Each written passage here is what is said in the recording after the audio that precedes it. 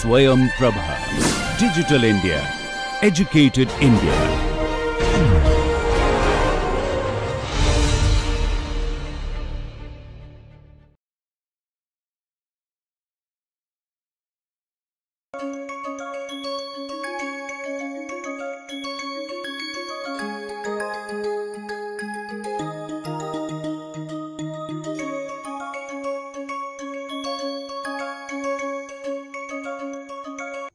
Okay, now we look at uh, Mach number.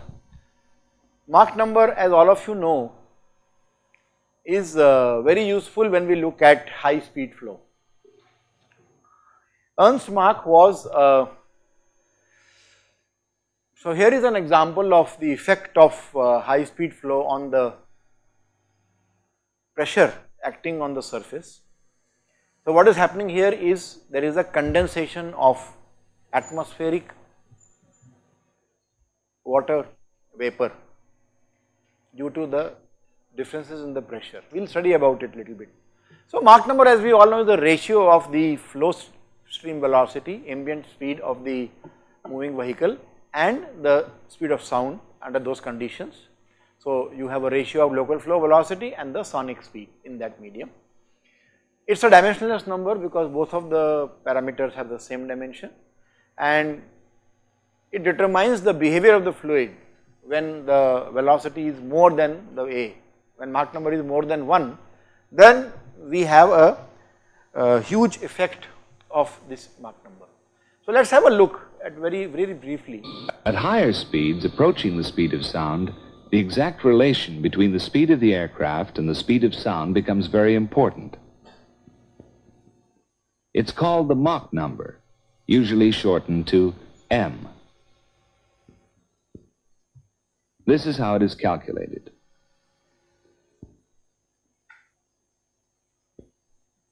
This aircraft has flown six tenths of a mile in the time the sound wave traveled ten tenths of a mile. It has flown at six tenths of the speed of sound in the same atmospheric conditions. That is, it has flown at Mach 0.6.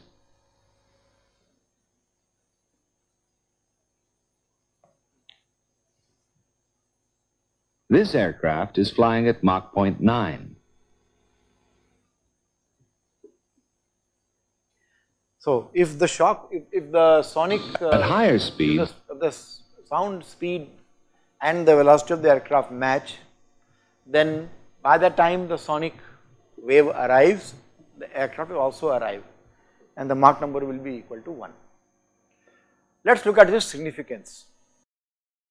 Okay. So essentially what is happening is that when Mach number increases, not beyond 1 but even beyond 0.3, 0.4, when it goes beyond 0.3, you start seeing that the density of the air does not remain same and the air starts getting compressed. Okay. So the local density of the air changes and there because of that the force acting on the aircraft is not the same. So if you apply the conservation of momentum then it can be very easily shown that rho v dv is equal to minus dp the minus sign showing that if this increases this decreases and vice versa. Similarly, if you assume isentropic flow and I will define isentropic flow very soon, in that condition it can be shown that uh, the relationship gamma dp by rho is valid. So using these two quantities one can derive further an expression which says that dp that is change in the pressure is equal to gamma RT times d rho. Now if you remember gamma RT basically represents root of gamma RT is speed of sound. So gamma RT is speed of sound square, A square, okay. And A is basically uh, what m into V, okay, correct. So you can use that. So I will repeat the same thing again. So dP is basically gamma p by rho dP, p by rho is gamma RT, okay. So gamma RT basically, so dP is a square, a square d rho and therefore if you combine with the momentum equation where rho v dv was minus dp, rho v dv is equal to minus a square d, d rho. With that you can get m square dv by v is equal to d rho by rho. This is not to be derived or not to be really memorized or something. This is just to tell you the link that Mach number gives us between velocity and density. That is the whole purpose of this small derivation. Mach number is a link. For example, if Mach number is 0, then density is 0, change in density is 0. If Mach number is equal to 1, then dv by v is equal to d rho by rho, therefore the change in the velocity and change in density are related. If Mach, so if, if, if Mach number is less than 1, then you know it is a very small number because it is a square. So let us say Mach number is 0.1. Now it will be 0.1 square times dv by v which can be neglected. So that means it will almost be equal to 0 in which case d rho by rho equal to 0 in which case density remains constant. It does not remain constant but it is almost constant. As the Mach number keeps on increasing the link between the change in density with velocity becomes prominent okay. So when Mach number is 1 the change in the density is change in velocity. At Mach number more than 1 the factor becomes m square. So this is the significance of Mach number. We do not uh, take Mach number just as a ratio for no reason. This is the real reason because it gives you a link up between velocity and change in the density. Okay. So what is the history of Mach number? This gentleman, he was uh, born in 1838 and he was a physicist and he was the first person to actually study and quantify the effects of high speed flow on a body. Before Mach number there were bodies flying at very high speeds for example bullets have been there for many years but he was the first person to photograph a bullet okay I will show you. So here is Ernst Mach okay he was the first to understand the principles of supersonic flow and this is the photograph taken from a very interesting paper on history of high speed flight. So uh, notice there is a hyperlink there. So there is a paper by the same J.D. Anderson whose book we are following.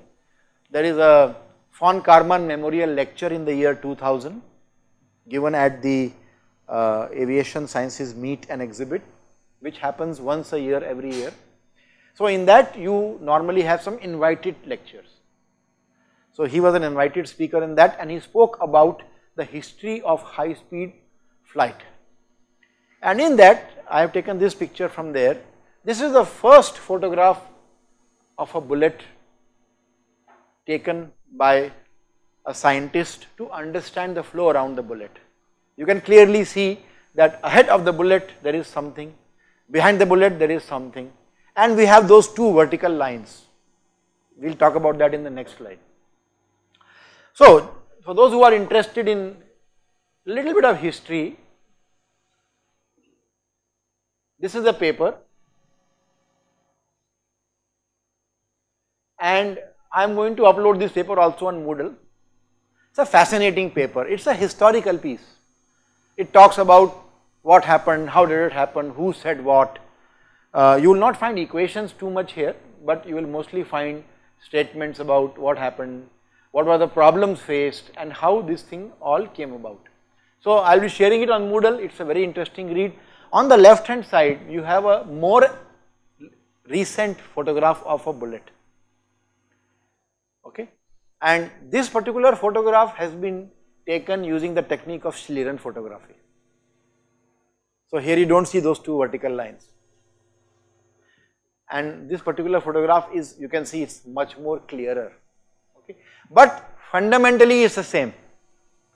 The two photographs are doing the same thing they are trying to capture the flow field around a bullet. This particular photograph by Mach was presented in this very outstanding paper. Look at the, you know the, the date is very old 1887 that is when he is able to study. So what did he do? Basically he showed the existence of shock waves and he photographed the shock waves formed by the bullet, the same photograph. So you notice in the nose there is a strong shock wave which is also curving in the nose and then it is tapering back on the back. Then there is a weaker shock waves at the aft end of the bullet because the end of the bullet is not flat, it is having some shape, some conical kind of a shape. So therefore, there are going to be weak shock waves created at the end. Those of you who study aerodynamics in the courses that follow, uh, especially when you study high speed aerodynamics, you are going to study about the phenomena of strong wave, strong shock waves, bow waves, weak waves, Mach waves, etc. And these two vertical lines are not anything physical, these are the lines made by the trip wires that triggered the camera which was used by Mach to record this photograph. So we should ignore those two vertical lines. Many people have a wrong idea, it's a vertical shock. It's not a shock, it's not a, it's not a normal shock, it is just uh, the lines made by the trip wires. Yes. What does a shock wave mean? Ah, good question. What does a shock wave mean? I am tempted to answer the question, but I would request you to wait till the next capsule in which we discuss shock waves. Okay, we will discuss about them. Right now we are talking about little bit of historical things. Today's talk is mainly about introduction to three scientists who are stalwarts in fluid mechanics. So we will talk about shock waves in the next in the next capsule. Just bear with me for a few more uh, days, you will get the answer there. Okay, let us go ahead. This is a technique that is used to obtain the photo called as a shadowgraph, which is different from a Schlieren. Okay, so light was passed through this particular uh, and there was a reflection on the film plate and then those film plates created shadows and those shadows are what you are seeing. Okay. Now, the important thing is this, so for the moment let me just tell you that these lines are basically called as shock waves. What they are, how they come, we will come in the next few lectures, but basically the effect of the shock waves is to create changes in temperature and in the airflow. This is another beautiful picture of a bullet, this time the bullet has a base. And notice that the angle of the shock wave in both the pictures is not the same. So this angle is a function of the flow speed as we will see very clearly. So with this we now start defining the regimes of Mach number okay. So there are different flight regimes based on the Mach number. Uh, typically we consider up to 0.3 as low Mach number. Then you have subsonic flow 0.3 to approximately 0.7 or 0.8. From 0.8 to 1.2 we have transonic flow which encompasses sonic conditions. But because we take a small margin before and after one and call it as transonic flow then we have supersonic flow. Technically speaking flow at Mach 1 will be sonic flow. Then we have hypersonic flow which starts normally from Mach number 4.5 or 5 and goes up to around 10 to 11 and then you can have hypervelocity flow. So very soon we will have a look at examples of vehicles that operate in various flow regimes. So in subsonic flow, yeah, small turboprop, uh, piston prop aircraft, I would like people to identify the aircraft.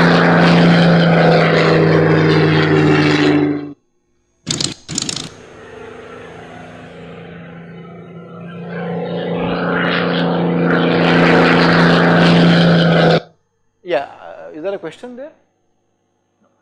Can somebody identify this aircraft? Yes? Spitfire, very right. It is a super, uh, supermarine Spitfire, a distinct uh, aircraft which is distinguished because of the shape of the wing.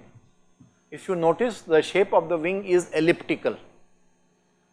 There is a reason for that which we will study in the next class about, when we talk about lift generation we will understand why this aircraft is good because it has got an elliptical wing platform we will also study why you need not make it like this to make it good. Okay. So, this kind of aircraft which fly in subsonic flow are generally ones with very slender wings and rounded features. So, they belong to the subsonic regime. There are a few other examples of aircraft which are uh, falling in this particular category. Mostly these are low speed aircraft, generally turboprop, piston prop, they normally fall in this category. I am not saying that all of them fall in this category, I am just saying that generally low speed aircraft are the ones which are flown by propellers. Okay, then go to transonic flow. In transonic flow, the example that I have chosen is to show you the creation of shock waves on top of the wing. I don't know why the video is not clear. Uh, you can notice there is a small thin line here. This line is actually air. This photo was taken from the window of an actual trans, uh, transport aircraft and uh, you can see there is a line which is a line of air which is adhering to the wing. This is a sonic line, okay.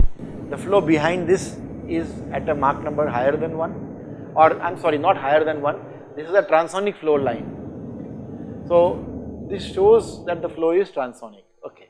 So it's the region that divides the flow between subsonic and supersonic. The, the aircraft is flying at a transonic speed, Mach number 0.8, but the acceleration of the flow over the wing has led Mach number to be towards the sonic Mach number. So this is transonic flow regime 0.8 and most aircraft in which we fly long distances, for example Airbus A350 or Boeing 748, they are all transonic flow. They all operate in transonic flow regimes. The typical cruise Mach number will be 0.8 for these aircraft. Okay. All right. Let us look at supersonic flow. This is a very interesting video. And you have to also, you have to see and hear. So the plane is coming, this is over a ship, condensation of, and you hear the plane after it has crossed you, which means it is supersonic because the sound came to you after the plane crossed you.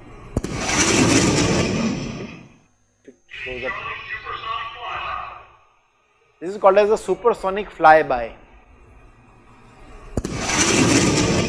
And uh, the clouds that you saw on the plane were basically the condensation.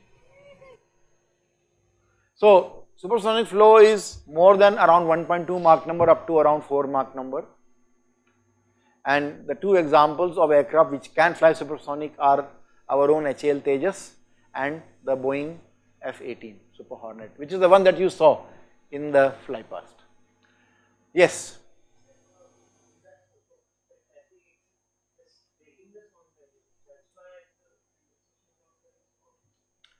The, the clouds condensation can happen even before you break the sonic barrier, okay. Basically the condensation takes place only when the pressure drops. But if you notice here there is an angle at which the clouds are attached. So that is an indication of the fact that it has gone supersonic. Even if you look at a subsonic aircraft, you can see condensation sometimes depending on the weather conditions. So the condensation per se is not an indication of sonic or supersonic flow, okay. But the condensation pattern of this type which shows a special, this is actually a Mach cone as I will talk about in the next few slides. So that becomes visible because of condensation.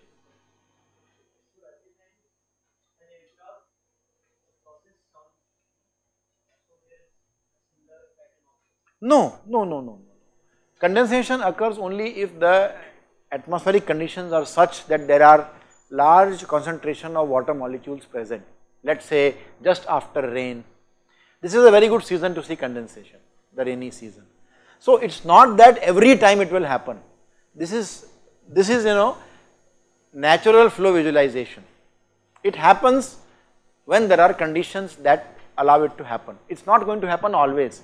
So don't assume that every time an aircraft goes supersonic there will be some cloud like this. No, you can have, I will show you some videos of uh, flight of supersonic aircraft without condensation visible. Let us go to hypersonic flow. This is a hypersonic uh, air breathing vehicle launched from an aircraft. Of course, you cannot measure the velocity, so you do not know whether it is hypersonic or not, but you have to believe.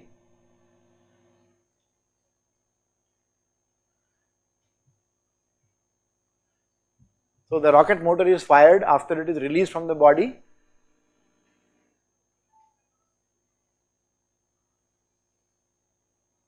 So we are also developing a vehicle like this called as the HSTDV. Uh, DRDL in Hyderabad is working on that project and uh, there is quite substantial progress in that. Our department is very actively involved in uh, the project through some studies which my colleagues are doing. So an example is X43 scramjet which is a supersonic ramjet. We will have one lecture especially on engines and the other example is the Boeing X51 Wave Rider which is an example of a hypersonic aircraft. Okay, let us go to hypervelocity flow. This kind of a flow is encountered only by missiles and spacecraft. Okay, so this is a video of a rocket which is launching a satellite in space. Only these kind of vehicles are able to with, be uh, subjected to hyper hyper, hyper uh, velocity flow. For example, the Pathfinder and the ULA Delta, both of which Pathfinder is basically a missile and ULA Delta 4 is a rocket used to launch satellites. So that is where now there is nothing like uh, hyper super velocity flow beyond Mach number etc. There is no demarcation beyond that. Normally any Mach number beyond 11, 12 we say it is super is hyper velocity flow. Okay, yes. The sonic boom also exists in this? Sonic boom will exist everywhere and any time you exceed sonic velocity, but the boom may not be heard because it may be dissipated or because of weather conditions, because of the altitude. So the, the sonic boom is a phenomena which is, I will come to that in the next few slides. Let me just go there, then you will be able to understand it a little bit better. Okay. So scramjets operate at around Mach number 10 this is the highest speed aircraft known to human beings. Missiles operate between Mach number 3 to 5 normally and then you have these rockets which go to much higher Mach numbers. The space shuttle for example encounters Mach numbers of 20 during its flight. Okay. okay. Then there is something called as Mach waves. What are Mach waves? As you can see, Mach waves are essentially locus of the intersection of the sonic waves released by an aircraft as it proceeds.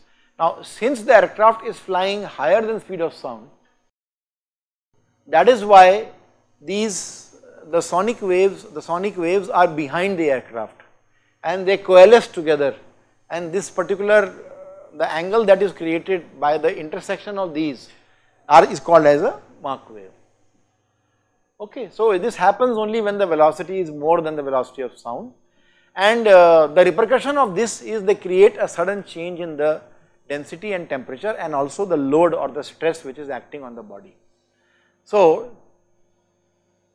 as the velocity of the shock wave increases, these Mach waves become at a steeper angle and their amplitude also increases.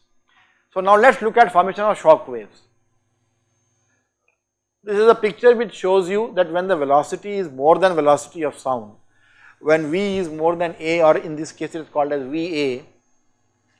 So as I showed you in the previous video, the locus of these particular lines. So the wave fronts are lagging behind the source in a conical region and the edge of the cone is called as a shock wave. So this is the answer to your question. The shock wave basically is the edge of the cone which forms a wave front. And this particular uh, this particular angle of this shock wave is directly a function of the speed of the object. So as we will see now. So this is a stationary sound wave. At any point of time there is a sound source and the center and at t equal to 1 unit you have one circle 2 units, 3 units, 4 units, you have these concentric circles. If the source starts moving at a speed that is lower than the speed of sound, then you will have still concentric circles, but you will find that the gap between them is more on the back and less in the front because the object is also now moving. Okay, so what will happen is because there is a compression in the front the frequency at which sound emanates is going to change. and on the back because there is a expansion the frequency this is called a Doppler effect and this particular uh, effect is used when the body moves at a speed more than the speed of sound then this is what happens the wave crests are going to overlap and you have a large amplitude shock wave. So the red lines are basically almost tangential here it is parallel to a tangent for improved clarity but basically the line that is tangential to all these blue lines is the shock wave. Okay. There are 3 or 4 types of shock waves. The first one is a normal shock wave. This is like a front which moves. This particular uh, kind of shock wave occurs in front of blunt bodies at the in the central region. The next one is an oblique shock wave. This happens mostly on bodies which are um, having a very sharp point. So from the point at an angle there will be uh, the shock waves and this angle beta will depend upon the flow Mach number. You also have curved shock waves. Okay. So this is an example of sonic boom. The sound which you hear is a sonic boom. So why are you hearing a sound?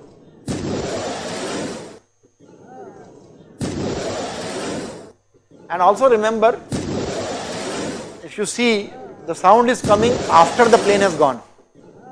It's not overhead, the plane is ahead of you and then the sound comes to you. That means the plane is somewhere there, it has crossed me and then the sound is coming to me. Now for you it's only a sound right now, but there are many instances in which this particular pressure wave can break the windows, window glasses. There are examples at uh, when military aircraft are practicing near the air bases. There are many many situations in which the people nearby complain breakage of window panes, shattering of window. That is because of the sonic boom. And if this is happening above your house routinely every day, then you will start getting serious complaints also. So let us look at sonic boom. In this particular photograph, we actually see three different Mach cones. The one which is just behind the canopy, then we have one which is little bit, which is on the tip of the wing and then one on the tail. So it is a loud noise and it happens because of the constructive interference or the cohesion of the waves. We will see it and uh, essentially it is a pressure difference which comes down. So if you notice if there is a plane flying there will be one shock wave from the nose and one from the rear portion. They both are going to hit the ground if you are at a sufficiently low height if you are at a very high altitude, then the shock, the, the sonic boom may be attenuated. It may not reach or the pressure may fall because of the losses in the atmosphere. But if you fly supersonic at say 100 meters from the ground, then there is a very good chance that the bow wave and the tail wave are going to hit the ground and create this N shaped pattern which is the sonic boom. So as the aircraft flies over a terrain at low altitude at supersonic speeds, you have this horseshoe type area of influence on the ground. Okay. So this is a plane at supersonic speeds. You have a conical pressure wave front which is the Mach cone and that conical front is hitting the ground and moving along. So this creates a parabolic boom carpet.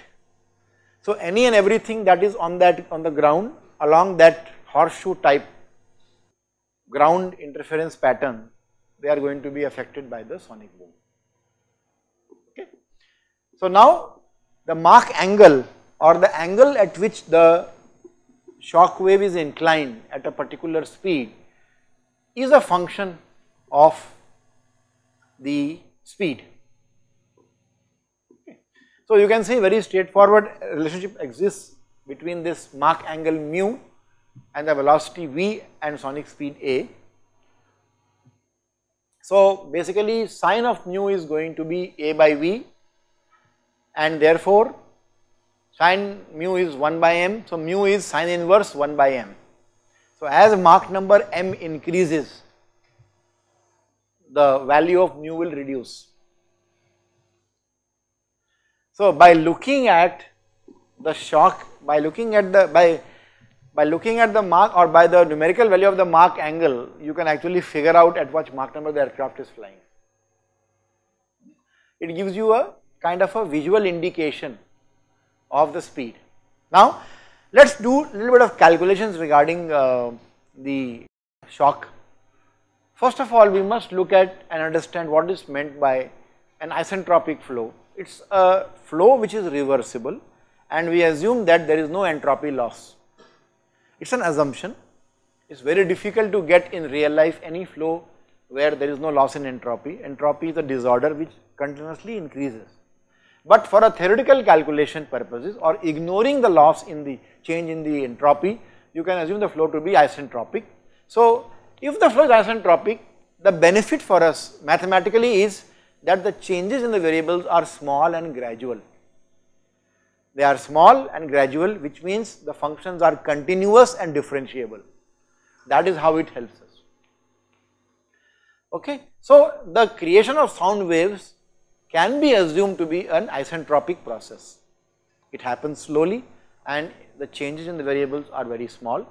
So for example, if you take if you take a simple nozzle where you have a chamber which contains a fluid let us say air at pressure Pc, temperature Tc and density rho c, it proceeds, it encounters, there is one section where the condition is subsonic, you have pressure P, T and rho and there is a area A, area cross section A and then as it goes and comes back we have a full recovery. If we assume it, this is an assumption, then the flow is isentropic. So through a nozzle the flow can be considered to be isentropic. So if it is a process isentropic then in the TS diagram it is a straight line, there is no change in S, okay, because no heat is added to flow and there is also no energy transmission because of friction. This is only an assumption, in real life very difficult to get such flows, okay, just uh, a detail. So the idea is we want to define something called as total pressure. So in this particular example you see a tube in which there is a fluid flowing at some flow rate, velocity is V and when you connect the wall of this particular uh, tube to a pressure line, there is some pressure acting because of the atmosphere, sorry at the at the inner surface at the border that pressure is the static pressure. So you can see it pushes the fluid column to some value but when you insert a tube at the center or down below then the pressure is higher. That additional pressure is the dynamic pressure which is there only because of the fluid flow. It is actually half rho V square okay. So the total pressure would be the static pressure which is there even in the at the at the edge that means where you assume there is no flow at all plus the pressure because of the flow. So hence summing up the total pressure is the pressure that would occur if you bring the fluid to rest isentropically and the entire half mv square of the particle, the entire kinetic energy particle will be utilized just to create pressure, there will be no losses, no friction, no heating. If we assume it, I keep on repeating, if we assume it, then we have total pressure. In reality, the total pressure that we get is less because of losses.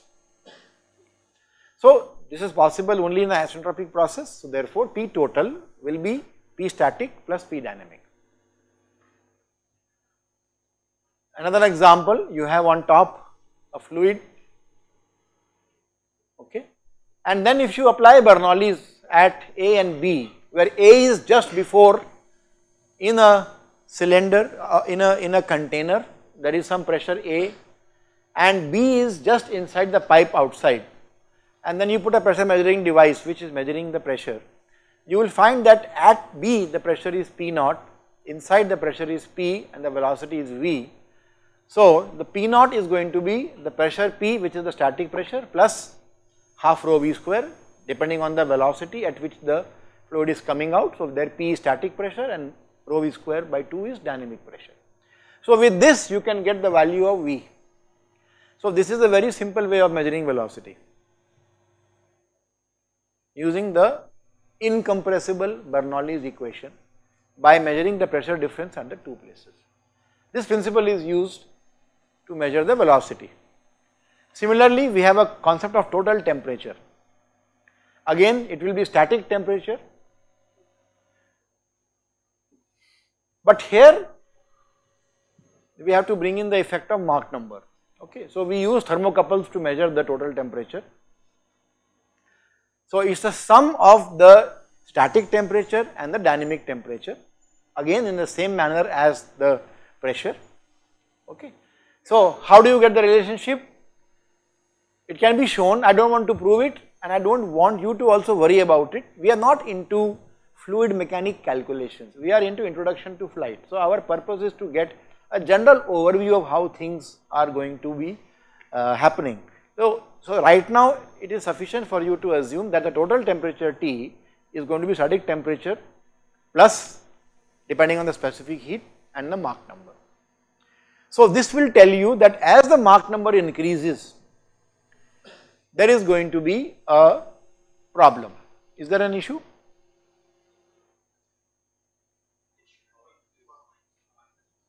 It should? Yes, I am glad that you observed it. The minus 1 should not be there.